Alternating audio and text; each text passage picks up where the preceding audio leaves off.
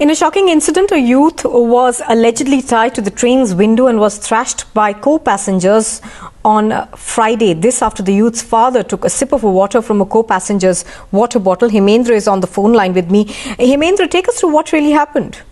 Identified as Sumit, was on his way from Jabalpur to Mumbai and uh, he boarded the Patliputra Lokmanya Tilak Express and uh, while uh, he boarded the train from Jabalpur, he had some confrontation with three youths who were also traveling on the same train uh, near Jabalpur over drinking water. Thereafter, he was bashed up and an attempt was made to throw him out of the train. They pulled the chain of the train. But he somehow managed to hang on to the window of the train and traveled in that position from uh, Jabalpur to Itarsi, which is roughly about four, three and a half, four kilometers, uh, four hours journey.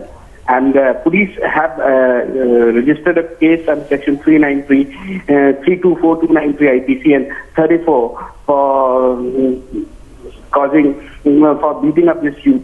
But later on this, as this video surfaced, now police are saying that they are looking at it afresh.